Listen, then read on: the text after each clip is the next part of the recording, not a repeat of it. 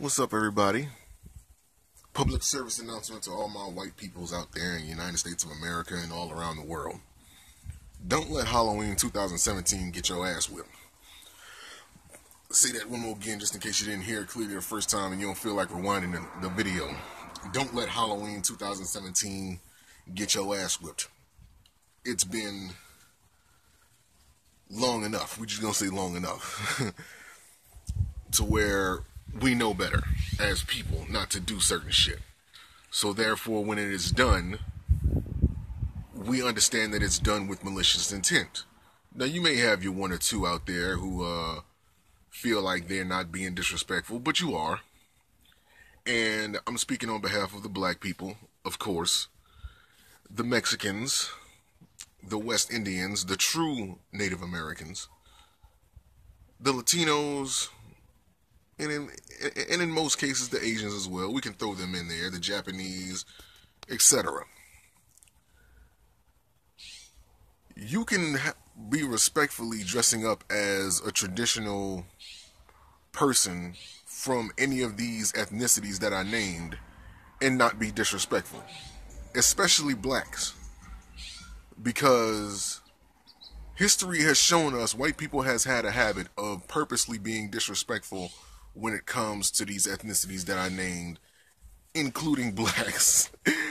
um, just five years ago, this is when I first really seen it from my experience. Um, white people dressing up as characters, as black people, painting their faces black, blackface. You know, you can be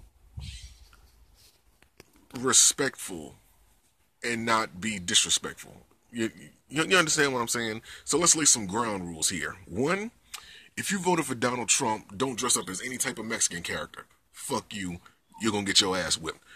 Um, two, um, don't dress up as any Asian character with the intention of going around speaking Asian and doing a bunch of fucking dumbass shit that's gonna get you stomped out. You know better. Uh, here's a good one right here. Don't dress up as any type of black person that's been killed via police brutality or any type of racial profiling. That right there is gonna get you stumped out and sent to the hospital. We don't give a fuck.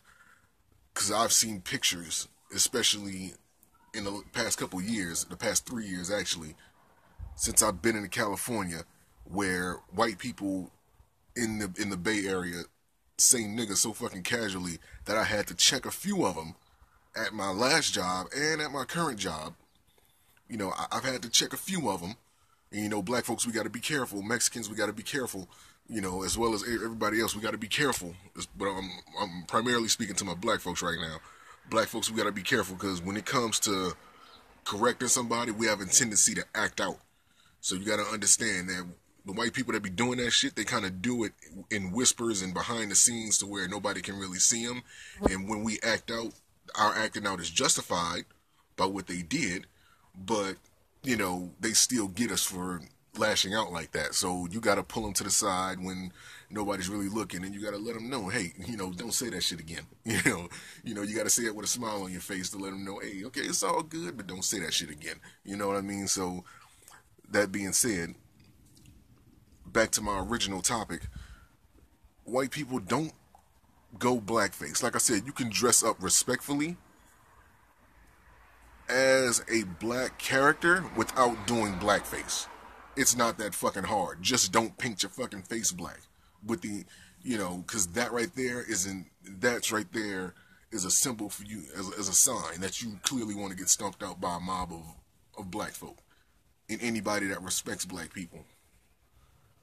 You know, don't go around saying, nigga, you must want to get cut. Okay, let me uh end it there, you know. But uh, but yeah. Besides that, you know, uh, oh, before I leave out, don't go dressed up as, as I was stating before. Before I end this, don't go dressing up as any black person or anybody that's been killed via police brutality or any type of racial profiling because you're gonna get your ass whipped. You know, I've seen pictures like I was saying, you know, before, of Trayvon Martin, uh, people, of white people dressing up as Trayvon Martin. You know, they go paint their faces black and they look like a sad fucking clown, and they put ketchup stains on like a gray hoodie, and, and you know, to mimic where he was shot and where the blood was coming out of his body and have Skittles in one hand, a bag of Skittles in one hand, and tea in the other. You know what I mean? Like just being very disrespectful, very disrespectful to the point where if I could just reach through this picture, grab you by your fucking throat, pull you over here for just good, just a good five minutes, just a good five minutes. But you know, wishful thinking. But um. But yeah, man, public service announcement. White people, don't get your ass up 2017. You can dress up as Snoop Dogg. You can dress up as Ice Cube. You can dress up as, you know, um, any, like I said, any black S character from any anime, whatever, you know, and not be disrespectful with it. You know, just don't paint your fucking face black. You ain't got you ain't got nothing to worry about. You know what I'm saying? Don't do stupid shit. Basically. So have a safe Halloween. Go eat some candy up. Go to the bar. Eat some food up. Eat some Halloween themed food up, or whatever the case is. And uh, yeah, man, let's just enjoy ourselves. You know, it ain't gotta be. It ain't gotta be no problems unless you make it one. Peace.